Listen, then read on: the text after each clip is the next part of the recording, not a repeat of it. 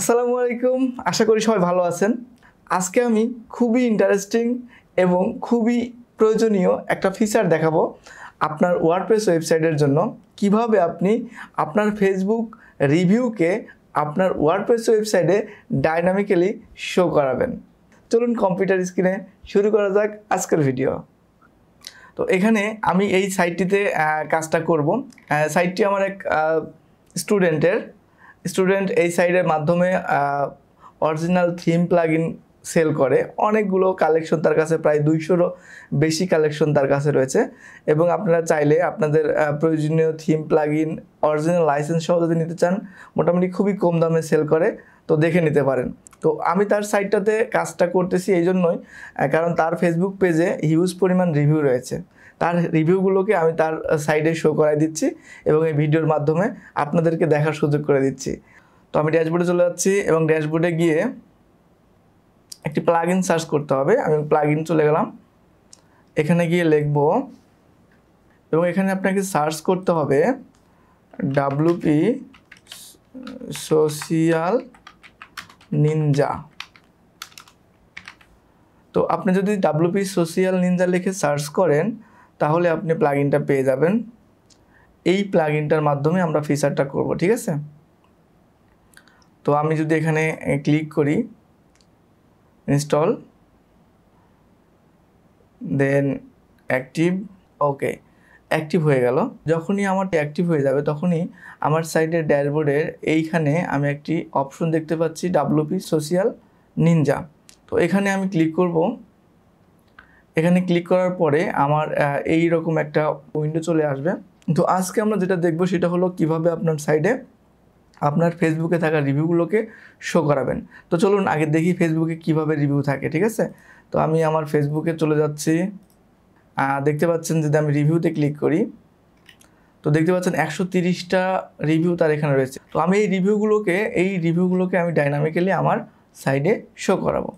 তো আমি চলে যাচ্ছি এখন আবার আমার সাইডে তো এখানে এসে আমি দেখতে পাচ্ছেন যে সোশ্যাল রিভিউ এখানে আমাকে আমার যে সোর্সটা আমি ফেসবুক কানেক্ট করাতে চাচ্ছি।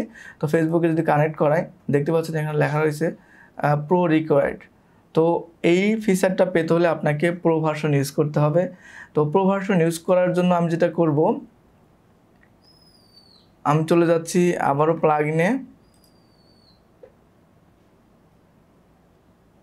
তো এখান থেকে আমার প্রো ভার্সনটা আমি অ্যাক্টিভ করে নিচ্ছি। আমি আগে থেকেই ইনস্টল করা প্রো ভার্সনটাকে অ্যাক্টিভ করে নিচ্ছি। ওকে তো আমার প্রো ভার্সনটা অ্যাক্টিভ হওয়ার পরে এখন আমি যাই তো সোশ্যাল নিনজাতে ক্লিক করি। তাহলে আমি দেখতে পাচ্ছি যে আমার এই রেস্ট্রিকশনটা চলে গেছে। তো আমি যদি এখন এখানে ক্লিক করি, তো আমাকে ফেসবুক কানেক্ট করতে বলতেছে। বলছে কন্টিনিউ উইথ ফেসবুক তো আমি কন্টিনিউ ফেসবুকে ক্লিক করলে আমার পেজটাকে কানেক্ট করতে হবে অ্যাকচুয়ালি এখানে। দেখতে পাচ্ছেন যে রিডাইরেক্ট করে আমাকে ফেসবুকে নিয়ে আসছে এবং এখানে বলছে যে কন্টিনিউ অ্যাজ নুরুল আমার নুরুল ইসলাম নামক যে পেজটা রয়েছে, সেই পেজের মাধ্যমে কন্টিনিউ করতে চাচ্ছেন নাকি এডিট সেটিং আমি এডিট সেটিংয়ে ক্লিক করলাম। ক্লিক করার পরে আমার যতগুলো পেজ এখানে রয়েছে, সবগুলো পেজ আমি এখানে দেখতে পাচ্ছি। তো আমি এখান থেকে এই পেজটাকে সিলেক্ট করে দিচ্ছি ওকে সিলেক্ট করে আমার এটা কেটে দিলাম। জাস্ট এই পেজটাকে আমি সিলেক্ট করতেছি।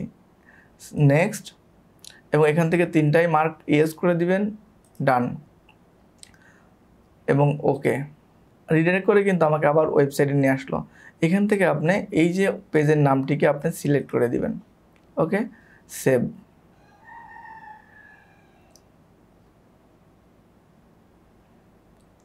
তো সাকসেসফুলি আমাদের ফেসবুক পেজটি এই প্লাগইনের সাথে কানেক্টেড হয়ে গেছে। এখন আমাকে যেটা করতে হবে ক্রিয়েট টেমপ্লেট আমি ক্লিক করলাম ক্রিয়েট টেমপ্লেট তো আমাকে যেটা করতেছে, এখানে অলরেডি দেখতে পাচ্ছেন যে, এইখানে টেমপ্লেট থেকে আমার সকল রিভিউগুলো কিন্তু এখানে শো করছে। দ্যাটস অসাম ফিচার রাইট দেখতে পাচ্ছেন, ছবি ফেসবুক কবে আপনাকে দিছে, কয় স্টার দিছে কী রিভিউ লিখছে, সবগুলো বিষয় এখানে চলে এসেছে। এটা খুবই অসাম অসাম একটা ফিচার তো আমরা এই ফিচারটাকে আরও বেশি কাস্টমাইজ করার চেষ্টা করব, ঠিক আছে? এখান থেকে আপনি কিন্তু রিভিউ দেখতে পাচ্ছেন যে আপনার ট্যাবে কেমন দেখাবে, আপনার মোবাইলে কেমন দেখাবে ডেস্কটপে কেমন দেখাবে, সবগুলো আমরা এখান থেকে দেখতে পাচ্ছি। তো আমরা এটার সেটিং করার জন্য প্রথমে যেতে হবে আমাকে ট্যাম্পলেটস তো ট্যাম্পলেটসে ক্লিক করে আমরা এখান থেকে ট্যাম্পলেটসের লেআউট পাবো তিন চার ধরনের। দেখতে পাচ্ছেন গ্রিড স্লাইডার এই যেভাবে স্লাইডার ওকে দেন আমি যদি যাই এখানে মেশিনারি মেশিনারি হলো ওয়ান কাইন্ডস অফ গ্রিড গ্রিডগুলো এলোমেলোভাবে থাকে। এবং আমি যদি এখানে যাই বেজ এখানে যদি ক্লিক করেন, তাহলে এইভাবে এখান থেকে আপনার সাইড থেকে পপ আপ হয়ে আসছে। এবং আমি যদি আবার এখানে ক্লিক করি, তাহলে পপ আপ হয়ে চলে গেল।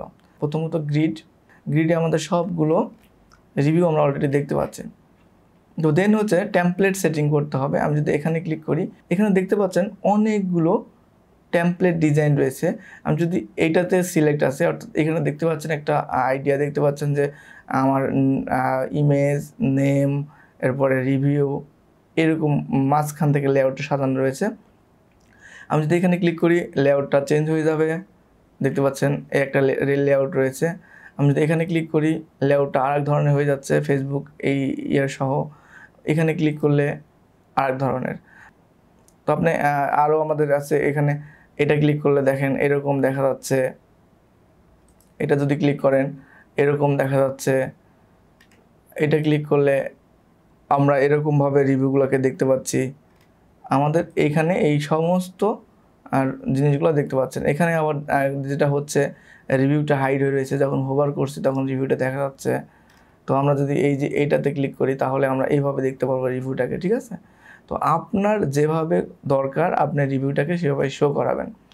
তো আমরা যে কোনো, আমরা ডিফল্টটাকেই শো করাচ্ছি। এটাকে। দেন আমাদের নেক্সট সেটিং হলো আমরা এখানে কয় কলাম রাখব, ঠিক আছে? তো আমরা চাচ্ছিলাম যে এক কলাম রাখলে একটা করে দেখাবে। এখানে যদি আমি দুইটা কলাম রাখি, দুইটা করে দেখাবে। এখানে আমরা সর্বোচ্চ চারটা কলাম পর্যন্ত ইউজ করতে পারব। এরকম। তো আমি তিন কলাম ইউজ করলাম that is perfect maybe then আমরা হচ্ছে ফিল্টারে ক্লিক করব। ফিল্টারে গিয়ে আমরা বলতে পারব যে এখানে কয়টা শো করবে, ঠিক আছে? আমার যেহেতু একশো তিরিশটা আছে, একশো তিরিশটা শো করলে খুবই খারাপ দেখা যাবে। তো আমরা যদি এখানে দশটা দিয়ে দিই, তাহলে দেখতে পারবেন যে আমার দশটা শো করবে। দেখেন, দশটা শো করছে। ঠিক আছে? আমি যদি এখানে ছয়টা দিই বেস্ট হবে। তো দেখতে পাচ্ছেন, ছয়টা এখানে চলে এসেছে, তাই না? ওকে এখন ফিল্টার বাই মিনিমাম রেটিং আমরা চাচ্ছিলাম যে আমাদের ওয়েবসাইটের সর্বোচ্চ কত রেটিং তিন রেটিং পর্যন্ত আমি শো করাতে চাচ্ছি। আমি চাচ্ছি তিন রেটিং না, আমি চাচ্ছি সর্বোচ্চ পাঁচ রেটিং যেগুলো আছে, সেগুলো আমার ওয়েবসাইটে শো করবে। সেগুলো আমি এখান সিলেক্ট করতে পারব। এবং এখানে অর্ডার ডেসেন্ডিং সিলেক্ট করা আছে। ডেসেন্ডিং মিনস হলো আপনার যেটা সর্বশেষ পাবলিশ হয়েছে, সেটা আগে দেখাবে। বুঝতে পেরেছেন? আমি যদি এখানে অ্যাসেন্ডিং করে দিই, তাহলে প্রথম দিক থেকে দেখানো শুরু করবে। দেখতে পাচ্ছেন দু হাজার বিশ সালের রিভিউটা দেখাচ্ছে। এবং আমি যদি ডেসেন্ডিং করে দিই, তাহলে আমাকে একদম লাস্ট রিভিউটা আগে দেখাবে। দেখতে পাচ্ছেন, এটা লাস্ট রিভিউটা আমাকে আগে দেখাচ্ছে, অর্থাৎ আগস্টের আঠাশ তারিখের রিভিউটা এখানে দেখাচ্ছে। ক্লিয়ার ওকে এবং আপনি চাইলে যেটা করতে পারেন, এই যে রিভিউ টেক্সটটা এই রিভিউ টেক্সটটাকে হাইড করে দিতে পারেন। এবং দেন আমরা চলে যাব হলো, এখানে আমাদের কোনো নির্দিষ্ট পোস্টকে আমরা এক্সক্লুড করতে পারি বা ইনক্লুড করতে পারি। কীভাবে? আমরা এখান থেকে যদি বলি ইনক্লুড ইনক্লুডে গিয়ে যদি আমি এখানে আমার ক্লায়েন্টের নাম দিয়ে দিই, যে এখানে আমি চাচ্ছি যে আমি শুধু শরীফুল ভাইয়েরটা শো করাবো, তাহলে এখানে আমার শরীফুল ভাইকে নামটা লিখে দিব। এই যে এটা লিখলে দেখবেন যে শুধুমাত্র শরীফুল ভাইটাই শো করবে একটা। এরকম করে আমি এখান থেকে যে দশটা আমার ইম্পর্টেন্ট জিনিসগুলো আছে সেগুলোকে আমি শো করাতে চাচ্ছি সেটাও করতে পারবেন। তো আমরা সেটা চাচ্ছি না, আমরা চাচ্ছি অল শো করুক, ঠিক আছে? অল থেকে আপনি আবার এটা, ঠিক আছে? Show review containing this word এখানে হচ্ছে রিভিউর মধ্যে এমন কিছু ওয়ার্ড থাকলে সেই রিভিউগুলো শো করবে আদারওয়াইজ শো করবে না। যেমন গ্রেট গুড এই জাতীয় যেই ওয়ার্ডগুলো থাকবে সেগুলো শো করবে আদারওয়াইজ শো করবে না। আপনি চাইলে যদি আপনার ব্যাড রিভিউ কেউ দিয়ে দেয়, তাহলে সেই ব্যাড ওয়ার্ডগুলো আপনি এখানে দিয়ে দিতে পারেন। যে hide review contacting this word অর্থাৎ আপনি এখানে লিখলেন ভ্যারি ব্যাড এরপরে খুব খারাপ, বাংলা, ইংরেজি মিলে যেই ওয়ার্ডগুলো আপনার খারাপ আসতে চাই সেগুলো আপনি এখানে লিখে দিতে পারেন। দেন আপনি যেটা করতে পারেন ফিল্টার বাই বিজনেস আপনার যদি একাধিক পেজ থাকে, তাহলে কোন পেজেরটাকে এখানে ফিল্টার করতে যাচ্ছেন বা একাধিক পেজকে একসাথে ফিল্টার করতে, আনতে চাচ্ছেন কিনা, সেটাও আপনি এখানে দিতে পারবেন। যেহেতু আমার একটা পেজই এখানে কানেক্ট করা আছে, একটা পেজে দেখতে পাচ্ছেন। দেন আমি যদি এখানে দেখি ফিল্টার ক্যাটাগরি আমরা এখানে আমাদের যদি একাধিক পিস থাকতো, আমরা ক্যাটাগরি ওয়াইজ এখান থেকে ফিল্টার করতে পারতাম। দেন আমরা সেটিংসে ক্লিক করব। সেটিংসে ক্লিক করলে আমি অনেকগুলো অপশন দেখতে পাচ্ছেন, সেখানে হচ্ছে ডিসপ্লে রেটিং এইটা হলো ডিসপ্লে রেটিং রেটিংটা ডিসপ্লে হবে কি না এই যে রেটিংটা ডিসপ্লে হবে কি না সেই বিষয়টা হচ্ছে আমরা এখানে ক্লিক করতে পারি। ডিসপ্লে ডেট এই যে ডেটটা আমি ডিসপ্লে করতে চাই কি না যদি ক্লিক করেন, তাহলে ডিসপ্লে ডেটটা ডিসপ্লে হলো না। এবার আমি যদি মনে করি যে রিভিউয়ের নামটাও হাইড করে দেবো, তাহলেও করতে পারব। আমি যদি চাই এই যে রিভিউয়ের ইমেজ ইমেজটাকে আমি হাইড করে দিব হাইড করতে পারব। এরপরে আমি চাইলে এই যে ফেসবুক আইকনটাকে ডিজেবল করতে পারব। ফেসবুক এই যে রিভিউ প্ল্যাটফর্ম আইকন ডিজেবল হয়ে গেছে। আমি চাইলে এই যে রিভিউ টাইটেল এখানে যেহেতু রিভিউ টাইটেল নেই আর রিভিউ টেক্সটটাকে ডিজেবল করতে পারবেন আপনি। ঠিক আছে? এরপর আপনার সাইডে কিন্তু এলোমেলো রিভিউ থাকতে পারে। অর্থাৎ এখানে এখানে বড় টেক্সট এখানে ছোট টেক্সট যার ফলে কি হচ্ছে?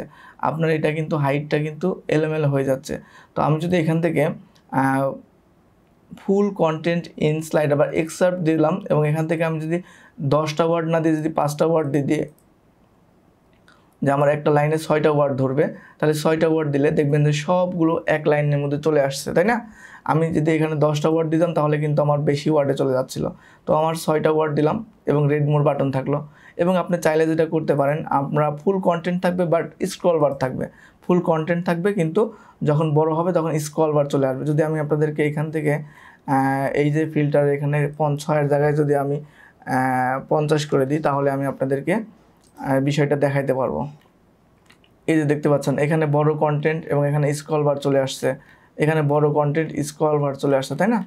এই বিষয়টা আমরা এখান থেকে করতে পারব। এরপরে আমি চাইলে সরি আমি ছিলাম হলো এখানে। এখান থেকে আমরা যদি চাই এক্সার্ট করলাম দেখেন কিছু আছে, একটু ছোট হাইট কিছু আছে বড় হাইট তো আপনি যদি এখানে ইকুয়াল হাইট ক্লিক করে দেন, তাহলে আপনার সাইটটা কিন্তু ইকুয়াল হাইট হয়ে যাবে। দেখতে পাচ্ছেন যে ইকুয়াল হাইট হয়ে গেছে। তো এটার থেকে অবশ্যই ভালো লাগছে, এখান থেকে আমি ছয়টা করে দিই, তাই না?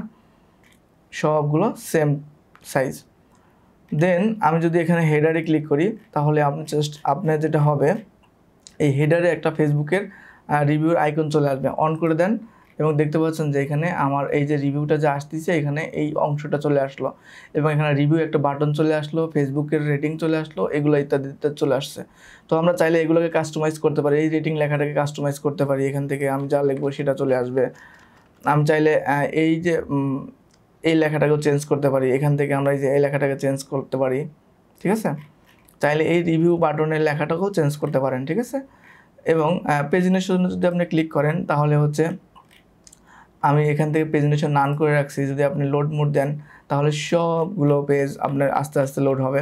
এই লোড মোডটাকে আমরা ডিজেবল করে দিই কারণ একসাথে সবগুলো লোড হলে ভালো লাগবে না। তো দেখতে পাচ্ছেন বন্ধুরা, এটা হচ্ছে মোটামুটি সিটিং হয়ে গেলে। আপনি যদি স্ক্যামারগুলোকে স্নিপেট করতে চান, তাহলে সেটা এখান থেকে স্ক্যামার কানেক্ট করে নেবেন। তো আমাদের এই অল ওভার রিভিউটাকে আমরা এখন সেভ করব। আমরা যদি এটাকে কপি করি কপি এবং আমি যদি একটা পেজে চলে যাই অ্যাড নিউ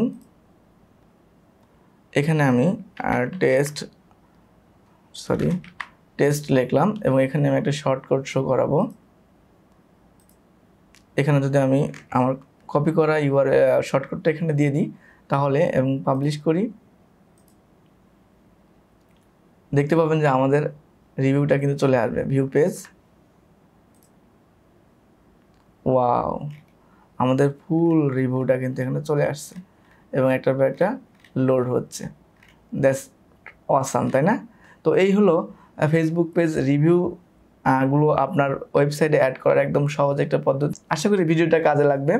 যদি ভিডিওটা ভালো লাগে, অবশ্যই চ্যানেলটিকে সাবস্ক্রাইব করবেন। ধন্যবাদ। ভালো থাকবেন। আসসালামু আলাইকুম।